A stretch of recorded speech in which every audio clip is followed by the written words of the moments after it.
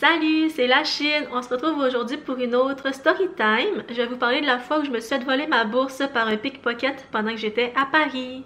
Cette histoire-là se passe le 2 juin 2018. Dans le fond, euh, je venais de terminer mon année à l'étranger, puis c'était ma dernière journée euh, où j'étais légale euh, à cause de mon visa. Donc, le 2 juin, je prends le bus de Francfort jusqu'à Paris. J'arrive là vers 5 heures le soir environ. Puis, euh, je prenais l'avion le 3 juin à 6 heures du matin pour euh, revenir au Québec. Donc, je passais 12 heures, en gros, à Paris. Je débarque au quai de Bercy, pour ceux qui connaissent un peu euh, Paris et ses environs.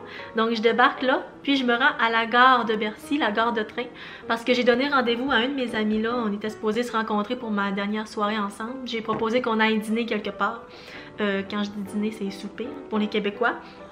Donc j'ai proposé qu'ils viennent me rejoindre euh, à la gare de Bercy vu que j'étais là puis que j'avais beaucoup de choses avec moi à traîner. Fait que j'ai dit viens me rejoindre parce que moi si je vais te rejoindre, je virais folle avec à traîner toutes mes valises puis mes sacs.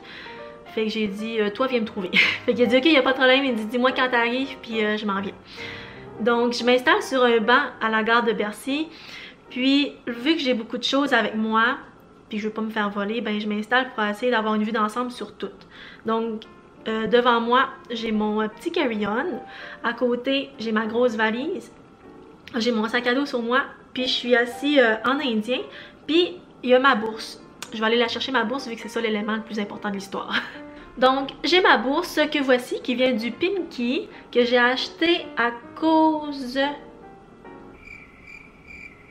je l'ai acheté à cause euh, d'un épisode de puce de lit que j'ai eu, là, que j'ai été bien traumatisée. Ça, ça pourrait être une autre story time, je pense. Fait que, euh, c'est ça, j'ai acheté ça parce que je me suis débarrassée de tout ce que, qui était possiblement contaminé par des puces de lit. Fait qu'il que je me rachète une bourse. Donc, elle était sur moi. Puis là, j'avais mon téléphone, puis je textais mon ami. Malheureusement, j'ai passé la soirée toute seule parce que mon ami n'a euh, pas pu venir me rejoindre parce que la SNCF était en grève. La SNCF, c'est le train en France. Puis ça a l'air qu'ils sont tout le temps en grève, selon mes amies françaises. Euh, c'est assez euh, compliqué des fois là, voyager en train parce qu'à un moment donné, pouf, il y a une grève. fait que c'est ça qui est arrivé. Fait que finalement, on a essayé de trouver des plans pour qu'on puisse se voir. Fait que pendant que je textais, je vois ma bourse qui lève.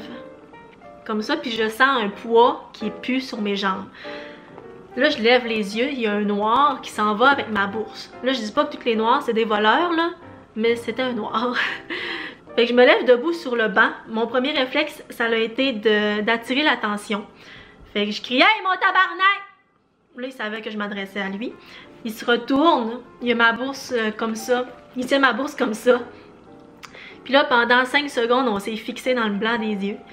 Puis là, je m'imaginais plein de scénarios. Je me suis dit, c'est sûr qu'il y a des amis de cacher quelque part, que si je pars après le gars, ben dans le fond, il y a sûrement des amis, ses amis, ses complices qui vont venir voler euh, mes valises. Mais dans mes valises, tout ce que j'avais, c'était de l'alcool, du chocolat, puis mes vêtements. Fait que la question s'est même pas posée dans ma tête, je pars après le gars qui a ma bourse, parce que le plus important, c'est mon passeport qu'il y a dedans. Parce que sérieusement, là, je voulais pas courir aller euh, pour aller à l'ambassade, puis là, régler ça, puis là, dans le fond, manquer mon avion, puis là, j'aurais été illégale, il aurait fallu peut-être que je paye une amende. Sérieusement, là, ça aurait été la galère. J'avais les jambes qui tremblaient, j'avais le cœur qui voulait me sortir de la poitrine. J'étais sûre que je faisais une crise de cœur tellement que j'avais le cœur qui me débattait. Pour vrai, je, je sais pas comment j'ai fait pour gérer cette situation-là. là. Après les 5 secondes à se fixer dans le blanc des yeux, je me suis rendu compte qu'il y avait des témoins qui étaient arrêtés pour nous regarder. Fait je me suis dit au moins il y a des gens qui, euh, vont pouvoir témoigner s'il arrive de quoi.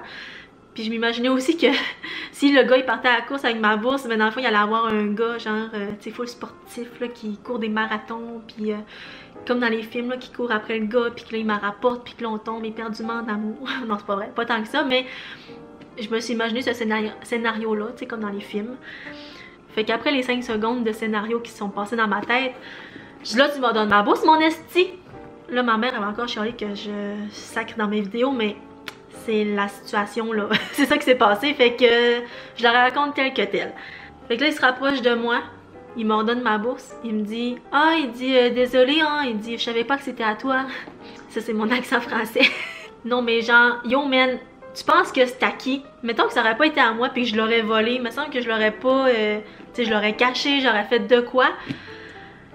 En tout cas, fait que là, le gars, finalement, il repart. Mais tu sais, tu pensais pas que c'était à moi, genre. C'est quoi ton raisonnement? Je sais pas. Je sais pas ce qui a poussé le gars à m'en donner ma bourse. Peut-être qu'il s'est dit, oh mon dieu, c'est une asiatique, elle doit courir full vite, puis elle doit être full bonne en karaté.